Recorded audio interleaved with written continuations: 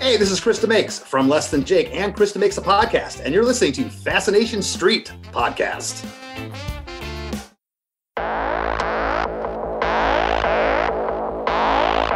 I believe that everybody has a story, and I'm fascinated to hear them.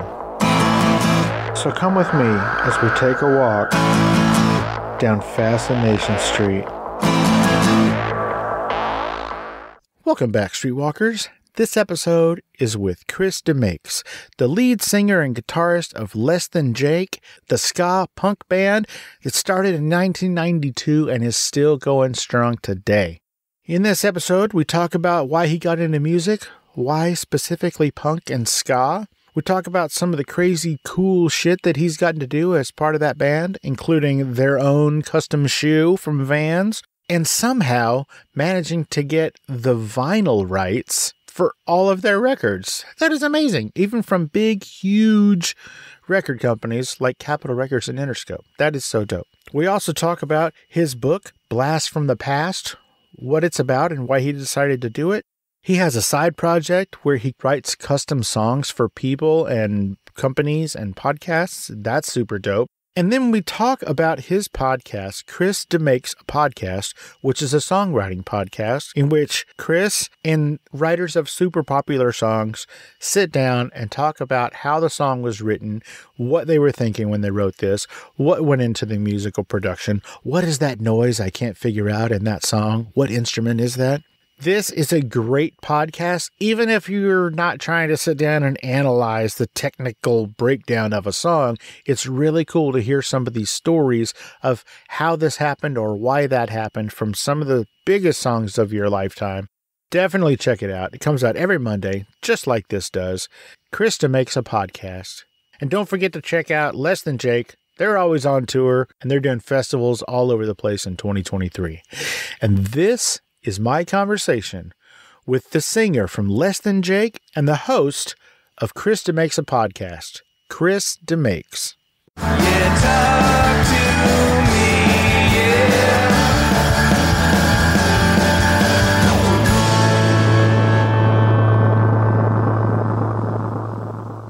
Well, welcome to Fascination Street Podcast, Chris DeMakes. How you doing today, man? I'm doing great. How are you? I am fantastic. I have one very first question. What kind of fucking punk rock star is up this early, bro? I know, I know, right? Well, uh, in all fairness, it is 10 o'clock here. Uh, it's only nine where you're at Central Time. I, have actually been up for about four hours, though. I have a uh, five and a four year old, if that tells you anything. That's why. Yes. When you have kids, that are young, you get up early. When you have kids that are older, you can't sleep. Mm-hmm. So my kids are uh, 30 and 31, and I don't feel like I've gotten a good night's sleep in 12 years.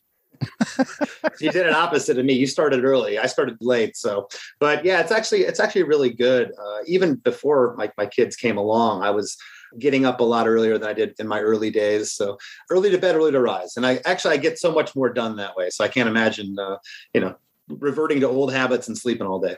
Isn't it crazy how much shit you can get done if you get up early and your day is so much longer and nobody bothers you for those first few hours? That's exactly it. That's why I get up early, I get the emails done and you know, kind of get my day in order. It's great. Ladies and gentlemen, this is Chris DeMakes, that Chris DeMakes the founding member and lead singer and guitarist of the punk slash ska band Less Than Jake that started in 1992. Did I say all that right? Or just the word ska? Uh, not at you? all. Not at all.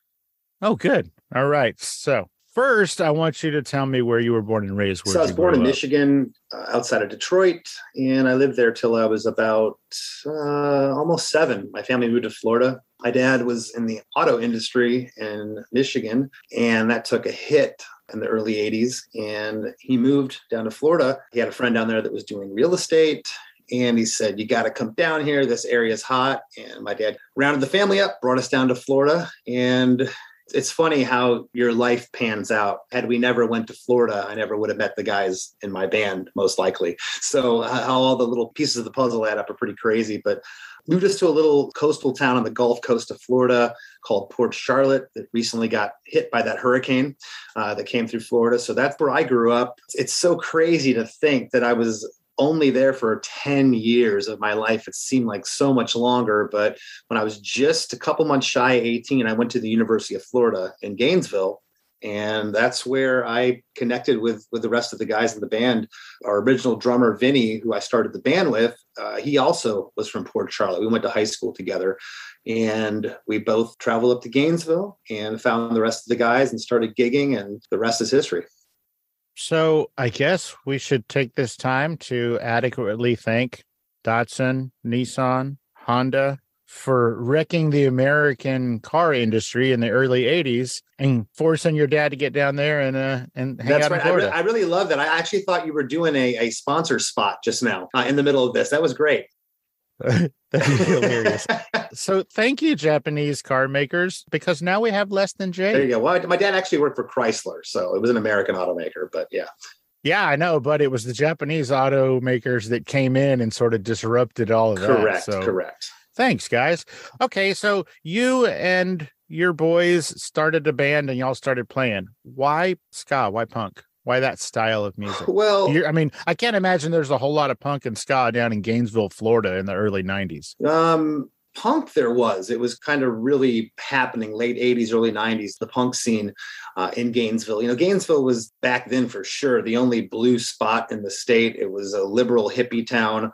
And, and the turnover there, why college towns are so exciting and, and why they have such great music scenes, in my opinion, is every four months, the soil is tilled with new people coming in. There's always new people coming in to go to school and for what, whatever else. And in terms of musicians, there's always someone else new to play with. And it was a great scene. The ska thing, Vinny and I were really into tons of punk rock, and our early stuff was pretty much just three piece band punk rock. And then we slowly added horn players along the way. Uh, there was a band from England called Snuff that had a trombone player, a punk rock band that had trombone that we really loved, that were an, an influence early on. But yeah, you should have seen us pulling into some of these North Florida uh, redneck bars with blue hair and tattoos and, and, nose piercings in 1992, playing the kind of music we were doing. It was uh, uh, it was eye opening for a lot of people. Was it scary for you guys? There were times, yeah. I mean, alcohol and the and the wrong type of crowd could could turn on you. So yeah, there was definitely, but it was it was more the element of our whole thing in the early days was they're probably not going to like our music no matter what we do. So let's at least make them remember us. We would go in and destroy clubs. You know, we would go to like thrift stores and I'd say, I'd make up some story at the front. Hey, we're here for toys for kids for Christmas or something. you know, here's 10 bucks. Could we take all your stuffed animals? And it'd be some, you know, college kid clerk behind the desk going, whatever, man, here, fill up a bag. And we'd bring stuffed animals and, you know, there'd be two feet of cotton and, and stuffing in, the, in, these venues after we get done. The audience would rip them apart. And silly string was a big thing. We'd buy hundreds of cans of that and hand it out to the crowd. And, and it, it was all about a spectacle and a, and a party and to have fun. That's what our band was built on. And it, it worked really well. Some of our early shows were insane. The, one of the groups that uh, latched onto us very early on was the surfing club at the University of Florida. And these guys were just a it's like picture Sean Penn in Fast Times at Ridgemont High. It was just that dude, like, hey man, and like they were party animals, these guys. And they'd invite us to one of the guys' houses on campus, and it, the parties there were epic. So very early on, it was it was known that we were a fun band. I feel like the fun aspect and the doing weird, wild, crazy, unique shit never stopped. Like Mm-hmm. you're still doing some crazy shit. I mean, you guys just recently did a partnership with fucking vans, bro. You got your own van, and I think they're right behind you. They you are, got your own yeah. vans now. How cool Yeah. is that? it's it's awesome you know and, and these are relationships that we've cultivated you know over the years of being a band. We met uh, Steve Van Doren from vans back in the 97 Warped Tour and and we've done how many Warped Tours with them and all their representatives and just wonderful people. And so we you know we, we have these wacky ideas and we hit these people up that we're friends with hey would you be interested? In nine times out of ten they, they want to do something with us. You know we've made some really good friends over the years. And I don't think it can be stressed enough that this is a band of kids who got together in 1992 and 30 years later you guys are still together. You're still a band. You're still kicking ass. Sure, there might be some different members here and there, but it's not all that common for a bunch of kids to stick to something, anything for 30 years and be really good at it and successful. Mm-hmm. So it's not like they're just doing you guys a favor to do these partnerships. You, you guys are bringing some shit to the table. I mean, Taylor guitars. You guys are giving fucking guitars away at shows now. What is happening? yeah, so that's another thing. You know, I was looking for an acoustic for my studio during the lockdown, during the pandemic, and I had got a rep's name, Jay Parkin from Taylor Guitars out in San Diego. And Jay's a wonderful guy. I got his number and, and I said, Hey, could you talk? I kind of want to get a guitar built, you know, and I wasn't looking for a freebie or anything. I would I was going to pay for this guitar. And he gets on the phone and he's just like, the first minute or so was just kind of very awkward. And finally, he just leveled and he's like, Man, you guys are one of my favorite bands. I love you guys. And I'm like, Whoa, you know, and we've just built this wonderful friendship. And Taylor's whole thing is very grassroots, what Less Than Jake has built our career on. You know, we've we've never looked set our sights on, oh, we got to be the biggest band or have the huge hit. I mean, that would have been great but that never really happened. It's kind of like the tortoise and the hare. We're just kind of like the tortoise, just kind of cruising along, and we get these cool little job opportunities. And you know, this pool of money comes in, or this tour comes in, and you know, that's how we build. It's never been like, oh, we struck it rich here. It's like we're just going along doing our thing. And Taylor's kind of got that in mind. You know, the, their whole thing is, yeah, we can get you know John Mayer or some of these big guys, but you know the, how busy are they? Are they going to retweet and promote us like a band like Less Than Jake or maybe New Found Glory would? And some so that's who they've been aligning themselves with, and it's worked out well for them. Well, I think that is rad. I love that 30 years in, you guys are still doing new little one-off and uh, partnerships with other. Sh- I, I, just think that's the coolest fucking thing. So, uh, Less Than Jake started in 1992. You guys signed your first record deal, I believe, in 1995. Is that right? Yeah, 95. Okay. This is one of my favorite questions that I've never asked before. How long after your first record deal did you guys first start hearing the phrase sell out? And did you guys collectively have a conversation about the implications of that and, and what the fuck that even meant? Oh yeah, we we we heard sellout before we even had a record deal. I mean, you you were a sellout if you if you gave uh, an interview to the wrong zine back then. And for those who don't know what a zine is, it was short for magazine. Everyone would just do these Xerox little punk magazines, and you know we heard that term early on. I hated the term, and I never bowed to that term. I hated it because some of my favorite athletes, I'd, I'd look and be like, well, why isn't Michael Jordan called a sellout? He's got a $5 million contract this year, plus a $10 million contract with Nike. No one's screaming at him or, or any of these other famous stars. Why can't you be a musician and have success and do what you want? And yeah, follow a money trail. If someone's going to give me money to promote me, cool. If someone has a problem with that to this day, then that's on them, not me. I don't care.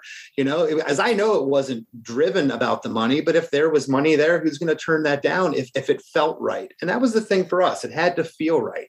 You know, we never just looked for a money trail. And there have been things that have been thrown at us over the years that we have turned down that could have been lucrative that we just we didn't really feel it or didn't really want to get behind it. So at the end of the day, if there was money to be made or if there was a label or anything, I, we never shied away from it. I, I didn't shy away from it. As far as being a sellout, I want to point out two things. One, Michael Jordan was selling hot dogs, ladies and gentlemen, and nobody fucking said that about him. The two, it's hard to pay your electric bill with good vibes and cool energy.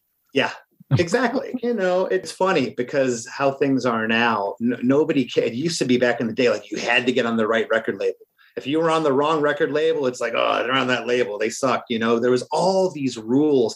There's nobody today that cares about what label label you're on. There's not a label we could go to that someone would be like, why, why are you working with them? You know, and and even us going out and doing stuff with other bands. I mean, we've always pushed the envelope. You know, we've toured with bands that are outside of our genre, within the genre, and, and everything in between. So it was always about keeping our options open and, and furthering the band and hopping from, again, one small project to the next. Back then, when you guys, I think it was on your first record deal, you guys did something unsane, and I've never heard of it before or since. Somehow you guys got the specific vinyl rights. How did you do that? And whose idea was it to write that in that, you know what? Yeah, we're going to sign with this record company, but we're going to retain the rights to all vinyl. How? Well, because the labels, okay, I'll, I'll, tell you, let's back up a little bit. I remember the first product that our band put out was a seven inch called Smoke Spot. It was in May of 93. It was on the No Idea label out of Gainesville. Was that the pizza box one? No, that came later. Okay. But uh, the first record we did, I remember my father saying, Why are you putting out a 45? He didn't even call it a seven inch. Why are you putting out a 45? Like, vinyl doesn't sell. My dad was like, you know, a real band has a CD or at least a cassette with a real printed cover on it and the printed uh, writing on the cassette. But we came from the punk rock world. Vinyl never died. So when we did the deal with Capitol, we knew we were going to be doing vinyl, both singles and LPs. And nobody at the bill, they couldn't care less because vinyl was passe. They're like, well, this isn't going to sell. They weren't pressing up vinyl records in the 90s. All those vinyl reissues came within the last 10, 15 years, if that, you know, last 10 years, really, where you're, you're seeing vinyl in Walmart and in all these places now. Uh, you go in Best Buy, you'll see vinyl, you won't see CDs. So for us, it was just part of the punk rock culture where we came from. We knew that we wanted to continue doing that and we retained those rights. The label didn't bat an eye.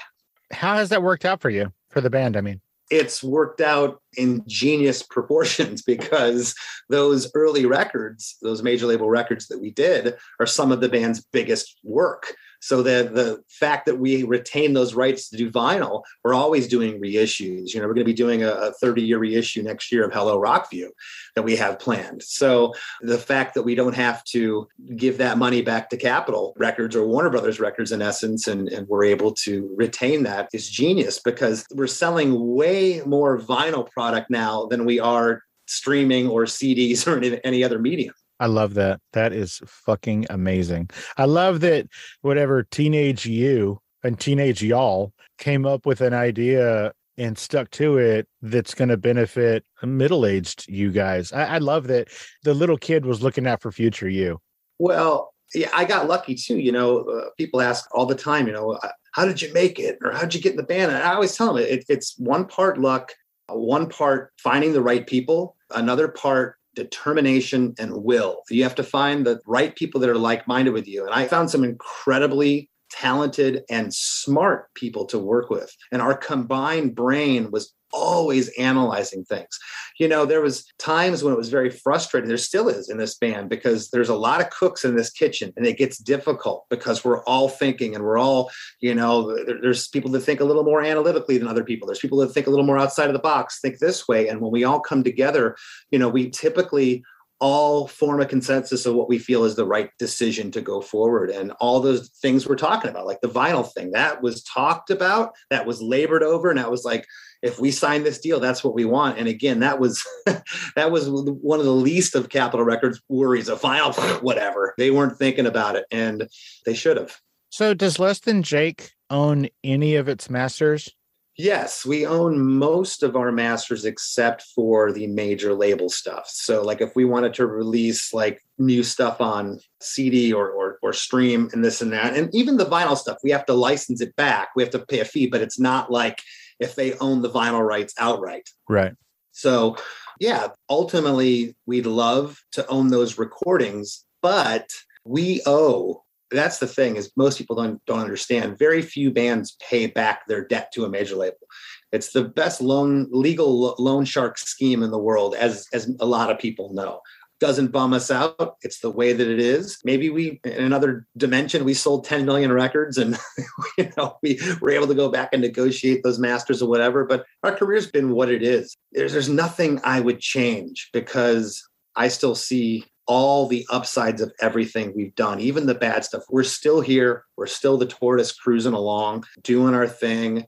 We get along probably better than we ever have as a band. And that's huge because none of us have to do this in the band. We have other options in our life to do.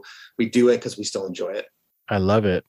A lot of bands and relationships of all kinds break up when people go through you know, different stages of growing up. And since y'all all made it through the growing up phase together, and then now you guys are full grown ass adults who have other options and don't even really quote unquote need each other but y'all still do it for the love of the game that's what everybody strives for so i hope and i'm sure you guys do look at that for the gift that it is Oh yeah, of course.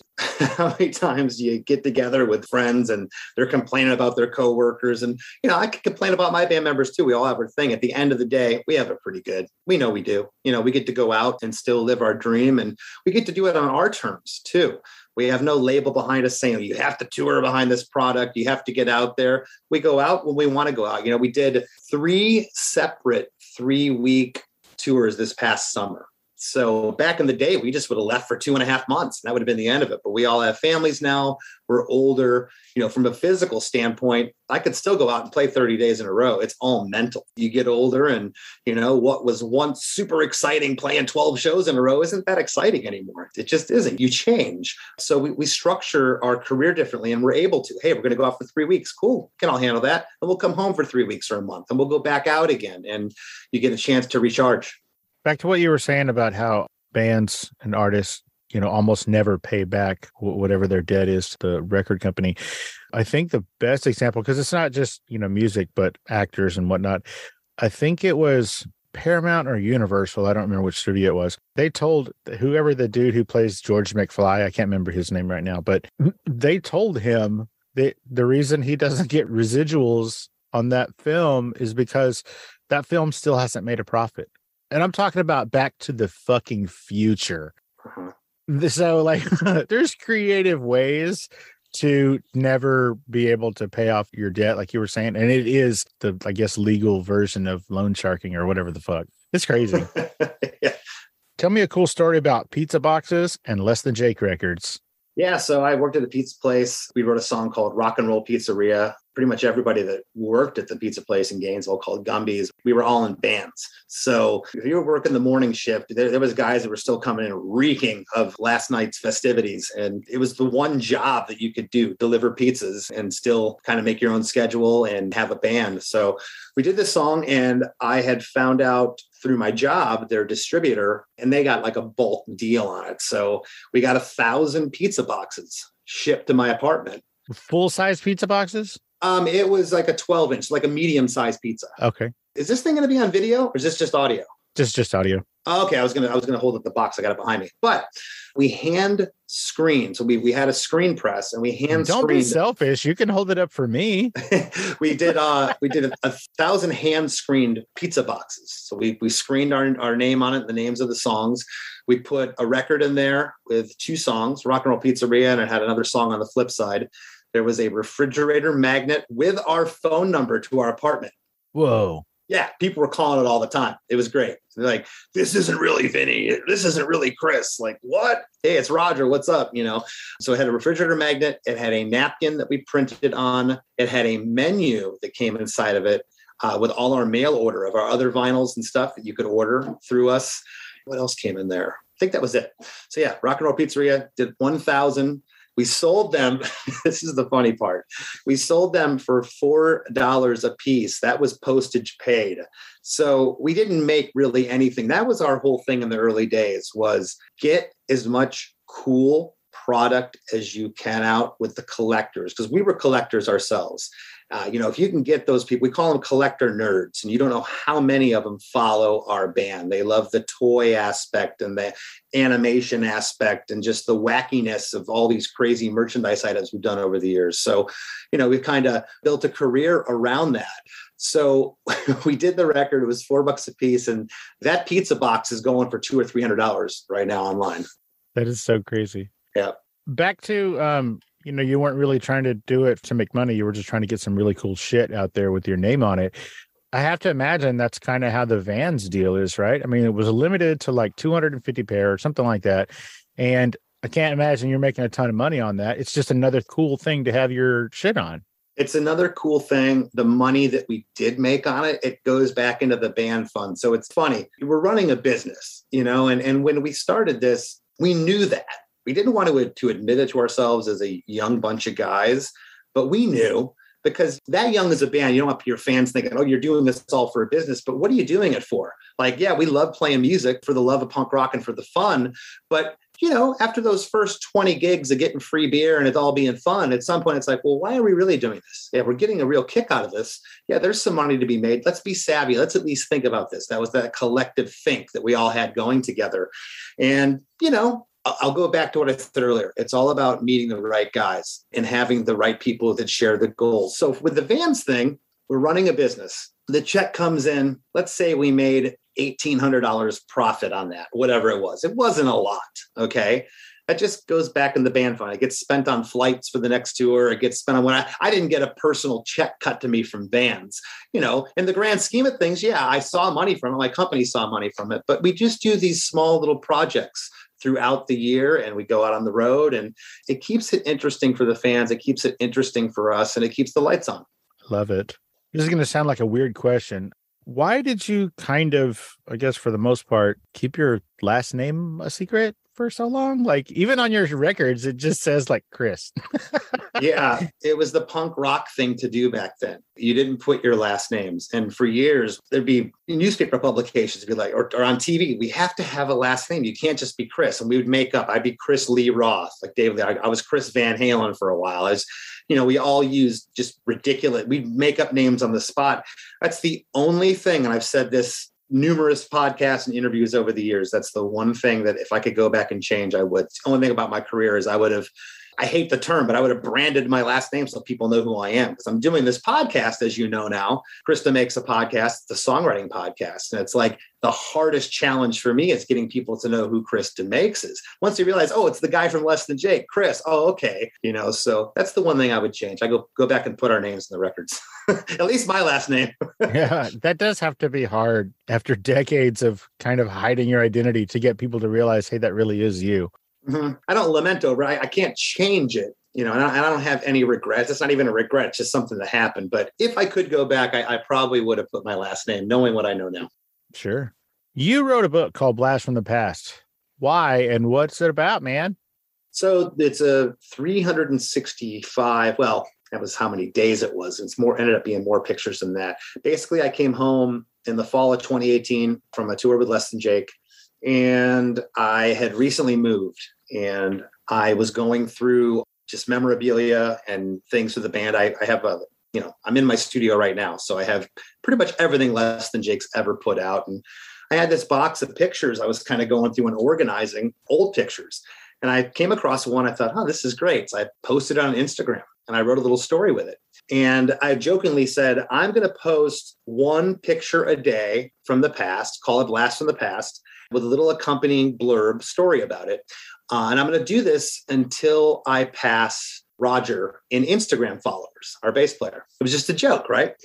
Lo and behold, our sax player JR had written a comment on that first picture. He says, Oh, this is great content, but you won't make it for more than a week. And I said, I'll show you. I'm going to do it for a year straight. And I did. And I was about three weeks in. So that was December 5th of 2018. I finally finished up with the last picture, December 4th, 2019. I had 365 days, and some had multiple pictures on it with accompanying stories to it that I then bound into a book. And it's the greatest toilet read ever put in print publication. What made you decide to turn it into a book that it would be available to other people? Well, I always wanted to write a book, and I put pen to paper a number of times. I had consulted some friends who have written books. David McWane from Big D and the Kids Table had said, This is how you do it. You're going to want to start with an outline and you're going to want to figure out what parts of your life you want to. And I kind of figured it would be that way. And I've read, that's my big thing. I read uh, rock and roll biographies and autobiographies. I have hundreds of, I've written, I've read every, every one of them and I love them. So mine, mine was starting to read like all the other ones. I got a maybe a, a chapter or two in. I, you know, hey, I'm Chris DeMakes. I'm from Livonia, Michigan. I was born blah blah blah to these parents, and then I moved to Florida, and I and I was like, man, you know, like I love my life prior to the band, but things really got interesting and crazy and chaotic and hectic, you know, when I got into this band. And I'm like, that's really where the story is. And the pictures didn't go in any chronological order at all. It jumps all over the place. There's a little bit of everything in the book. And um, I like the, the schizophrenic manner of the way it was put together because that's how the band's been. It's been nuts. It's just been 30 years of I don't know how the hell we got to where we're at, you know. And I always wanted to write a book. I, again, put pen to paper and I was like, this is just kind of ho hum. And then when I got three weeks into posting these pictures on Instagram, the light bulb went off. I said, I'm writing my book one story at a time.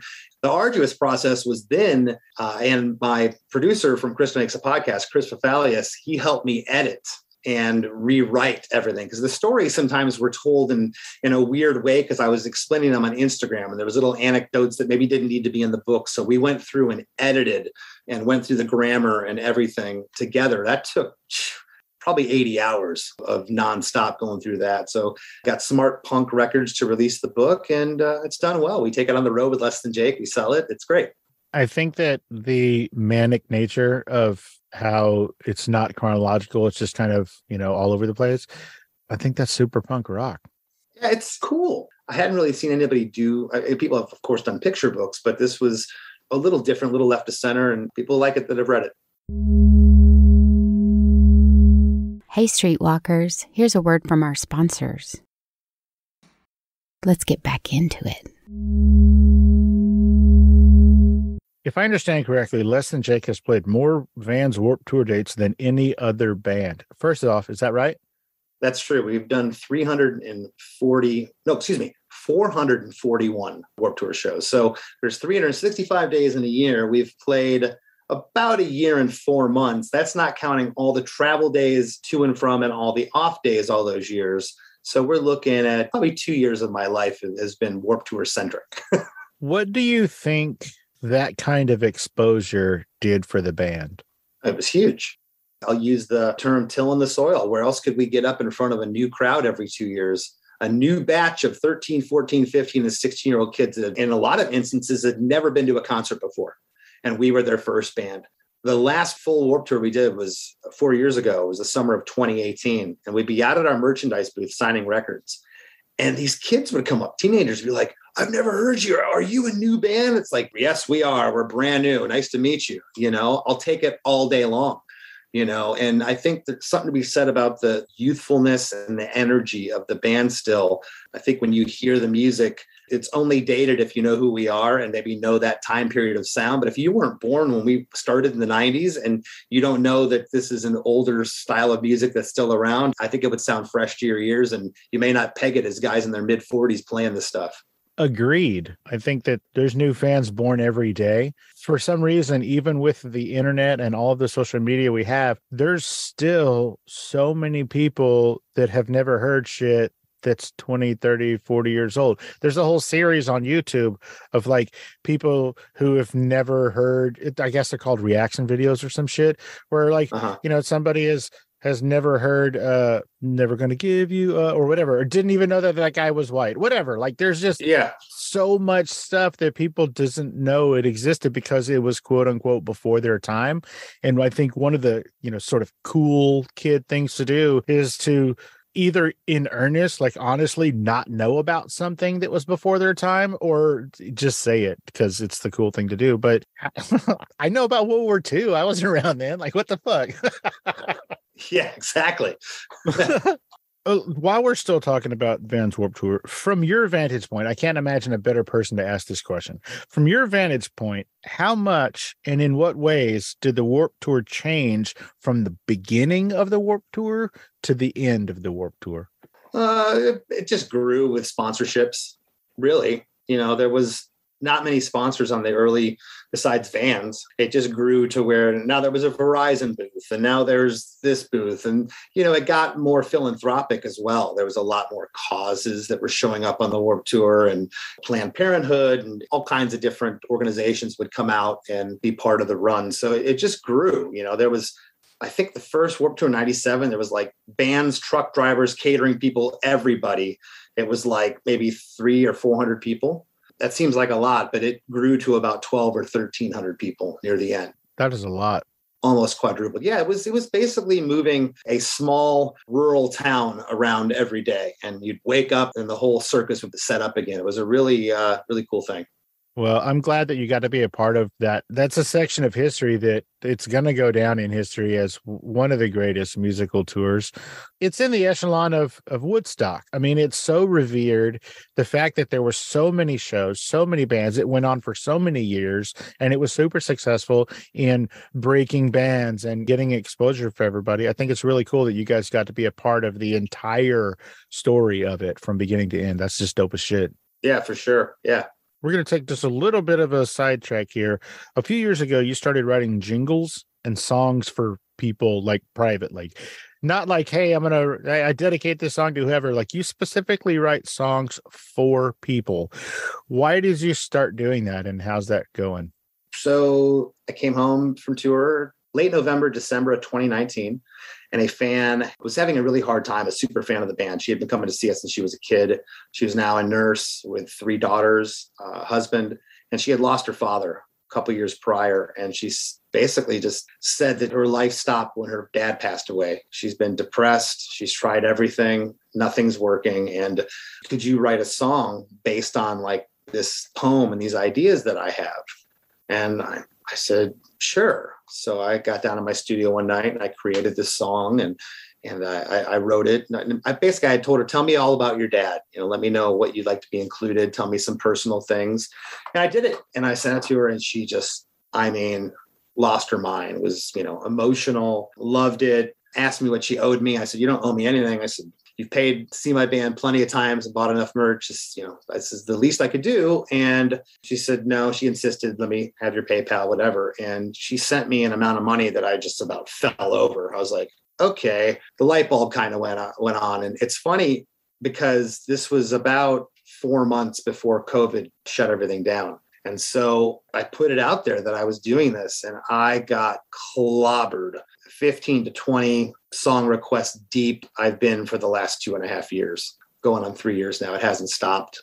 I've done everything from business jingles, podcast jingles, uh, people wanting songs for their children, for their newborns, for anniversaries, for birthdays, for retirement parties, bar mitzvahs, you name it. And it's been awesome to connect with fans. I've had songwriting services that have artists that provide this service reach out and want me to come be part of their thing. We can get you to a wider audience. And I'm just very blunt. I'm like, I couldn't have a wider audience. I can't write the songs fast enough. It's been a really wonderful thing. And plus, I love connecting with the fans one on one. They email me, they get a personal thing. We create the idea, sometimes the title for the song together. They're as much of the process as I am writing the song because without them and their subject matter, I couldn't create the song. So it makes people feel like they're part of it. And it's great. I just wrote my 252nd custom song. Wow. Yeah. wow. You can go on my YouTube page and, and check it out. It's uh, I don't think the handle YouTube just was able to give your own handle. I think I just picked my handle. It's uh, type it in, just Chris DeMakes custom songs, but it's Chris DeMakes official. That's who I am on YouTube, and you can find all my well, not all of them, but people will put together collage photo videos and, and regular video, and, and they'll put my song behind it, and uh, it's cool. Go check it out. That is super super cool. Okay, now where do you live right now? Are you back in Port Charlotte? No, no, I'm I've been in Tennessee for five years. Oh, okay. I live up here. Yeah. Do you have a real estate license in Tennessee? I still retain a Florida real estate license. My dad was in real estate forever. I did it, and it was a really, really cool story. it was funny when I got my real estate license and I went public with it. People like, well, man, the band must not be doing well, you know, this and that. And there's a lot of guys in rock and roll. Uh, AJ, singer from Lit, he has a realtor license. AJ Popoff? Yeah. Uh huh. I just had Jeremy on. Yeah probably two months ago or something. Oh, rad. Yeah. So a lot of guys do it in the side. I did it for about a year down in Florida. I did well. It's all about who you know and name recognition. But I haven't sold a house in about six years, but I still have my license and it's something if I ever wanted to go back and do, I, I could. Sure. Now I want to talk about one of the coolest things that I have found in a long time. Feel free to kick back. This is going to be a minute. Mm-hmm. Your podcast, it's called Chris DeMakes a Podcast, is to me somewhat unique in that you have people come on the show like Mark Hoppus from Blink 182, Chris Carrabba from Dashboard Confessional, Dickie Barrett from the Mighty Mighty Bosstones, even Kip Winger from Winger and previous guests of my show, Chris Ballew from the President of the United States of America, and one of my favorites, Scott Russo from Unwritten Law. And you have these people sit down with you and you analyze and you do a technical breakdown on a very specific song and you break it down lyric by lyric. You break down the melody the drum patterns. You say crazy shit that i as a non-musician i would never have even thought of. You say shit like you know i hear a chorus of guitars that comes in from the left and kind of goes through to the center and then exits out the right and i'm just like what the fuck? And then i listen to because you play that part of the clip right after you say some weird shit like that and then i'm like holy shit that is true. But you also do weird shit like occasionally you'll you'll even be like, so there's this sound that's in this song and I can't figure out what it is. And it sounds to me like this and it sounds to somebody else like that. What is it? What is that specific sound? It is the dopest podcast about music I've ever heard. I really, really think it's super unique in the way that you break it all down with the person who wrote the song.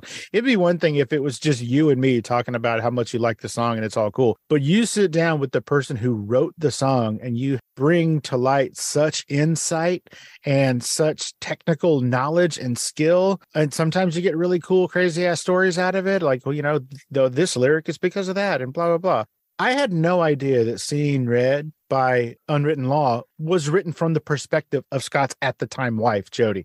That blew me. It gave me chills when I heard that. Like I would have never heard that on any other podcast, but the way you break it down and ask what's behind this, what's behind that, what were you thinking here, what were you thinking there? That's how we get those really, really cool stories. So that was a super long way of me saying everybody listening streetwalkers go check out chris DeMakes a podcast it's everywhere that you get podcasts and it's dope as fuck i want to know why you decided to start a podcast and why you decided to do it in this manner yeah, so it was the custom song thing, really. So I had reached out to Chris Fafalios, my producer of the show.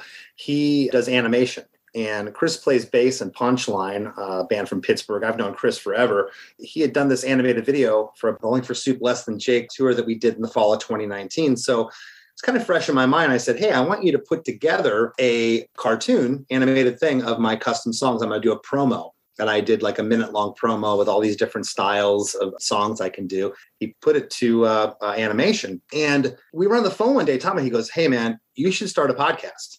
And I was like, no, I'm not going to do that. I've done every horrible interview in my life, and anyone can do a podcast. They're a dime a dozen. And most of them are really, really not that good, at least the ones I had heard. There's a lot of great podcasts out there, but as I said, anyone can kind of do one, and, and some are, uh, to put it nicely, way better than others. So I, I was kind of just disinterested. I never really listened to podcasts, minus a blurb here or there. If I was on some music site, they're like, "Hey, this guy did an interview, and I wanted to hear what he said." I'd, I'd tune in, and usually would just forward to the part in the episode. I wouldn't even listen to the whole thing. You know, it was so he said this would all tie back to your songwriting. You should really think about it. And I was like, okay. And I was just really dismissive about it. We hung up and just the rest of that day, I don't know what it was. It was one of those things that you just kind of can't explain. It's just kept eating at me in a really good way. I couldn't shut it off. And I woke up the next morning. I said, you know what? I'm going to do this. And it wasn't even because we were a month into the pandemic at this point when we thought of the idea. It was more about, it, there was something about it that wasn't just, okay, I'm bored. I'm going to do this. There was a lot of guys starting a podcast. I said to myself, if I do this, I'm going to do it in, at least until this pandemic's over, which at that point, everyone thought, okay, this is going to last two months, three months, maybe. Um, we all know what happened. But I said, I'm going to see this through. And uh, I was right. Most of those podcasts that started during the pandemic, a lot of the guys in, in music, uh, they just fell off after a little while. I was determined to see it through. And uh, I told Chris, I said, I don't want this to just be something where I'm BSing with people. That you know, he's like, no, no, no. It's going to be about songwriting. We're going to break down an iconic song from that artist's career. And I was like, okay. So I woke up that next morning, went to my phone, and I just cold texted like a dozen guys. And I got immediate responses back. One of the first ones was John Feldmann from Goldfinger. He ended up being the first episode. Jaret Reddick from Bowling for Soup, Chris number two from Anti Flag, a number of my friends. That's how it started. And so I started doing these episodes. And then from the get go, the reaction was incredible from the fans. It was incredible. It was something that is akin to when you know, we were out on that first tour for Pezcore and we were just showing up to VFW halls in New Jersey and there was 300, 400 kids showing up like, what's going on here? And there was just something electric from the time I started the show that I said to Chris, I said, I don't want to be a punk rock podcast. I don't want to have diminishing returns at some point. There's only so many punk rockers I can interview. It's going to burn out. I really want to branch out. And, and that's why we, anyone with a great song and a great story, I'll have on the show as evidenced by I didn't even mention it. I mean, I did mention Kip Winger from Winger, who's definitely not punk, but you have Huey Lewis, dude. What the fuck? How did you get Huey Lewis? Oh my god! I know. I thought I mean, all he I does is fly fish in Montana. How did you get him? It's really, you know, funny. It's all about connecting the dots. You know, I know a lot of people in this business and somehow everyone knows everybody. It's about connecting those dots. So Huey's tour manager used to sell T-shirts for Real Big Fish, Matt Frawley, and I remembered he was out with Huey. I just hit him up, and he said, "Yeah, let me see what I can do," and, and that's how that transpired. So thanks, Matt.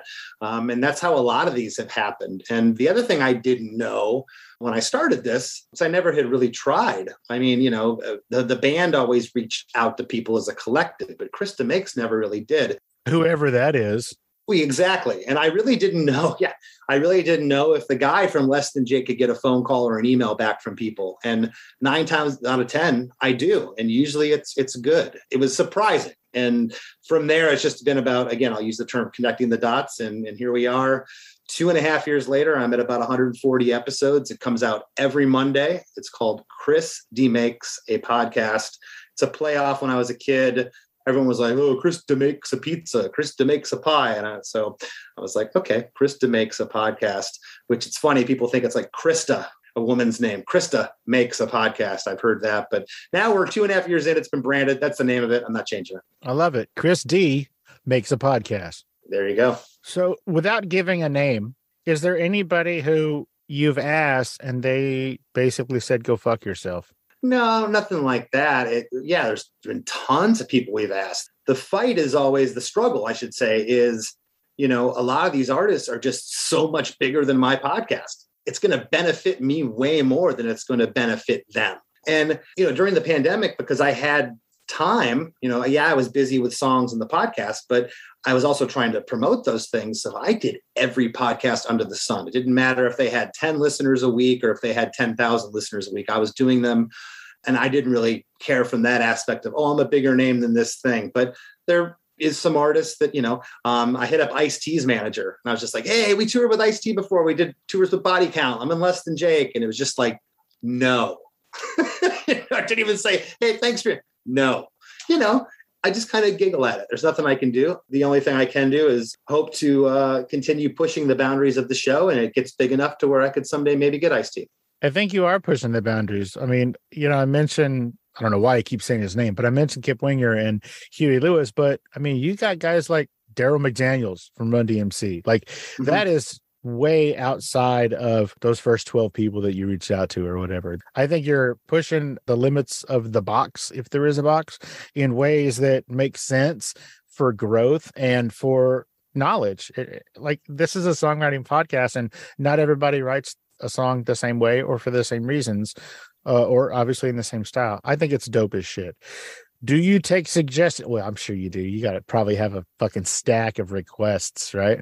Yeah, we actually have a Facebook group. It's called Chris Makes a Podcast Facebook group. There's over 4,500 members in there right now. So we're constantly, there's a main thread in there of what artists would you like to see. There's like, I don't know, thousands of comments and there are people. So yeah, we keep a list and we actively go after them. But guest acquisition is the hardest part of this is, is getting the guests. That's, that takes the most time. Sure. Well, there's a super easy one, which I'm sure is on that list. Why don't you interview AJ Popoff about my own worst enemy?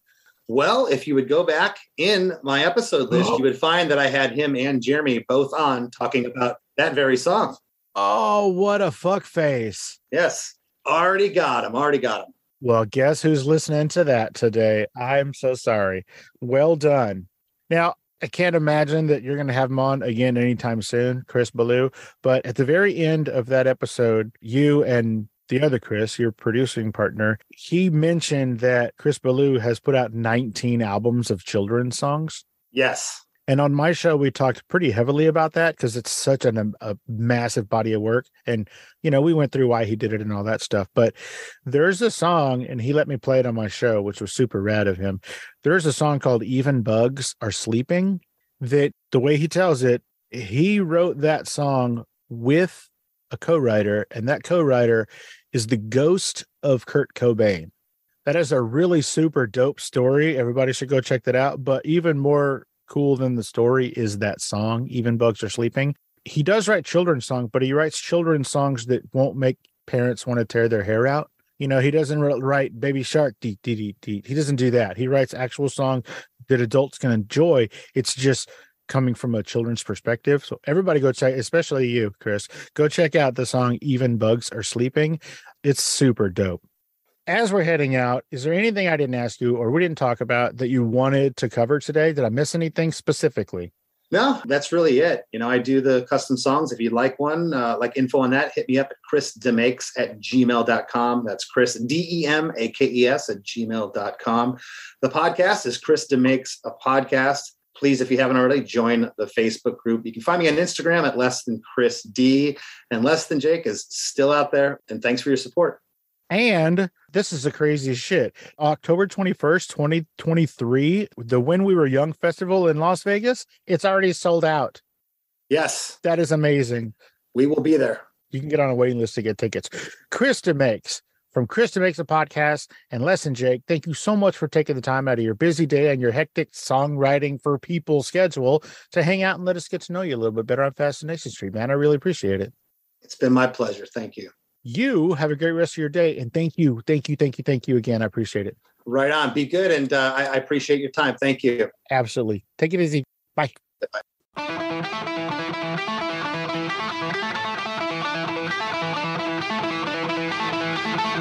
Opening music is the song Magnolia from the 2001 album Intransigence, used with permission from Douglas Miles Clark. Closing music is from the song Say My Name off the 2021 album Underdog Anthems, used with permission from Jack's Hollow. If you like the show, tell a friend, subscribe, and rate and review the show on iTunes and wherever else you download podcasts. Don't forget to subscribe to my YouTube channel. All the episodes are available there as well. Check me out on Vero at Fascination Street Pod and TikTok at Fascination Street Pod. And again, thanks for listening.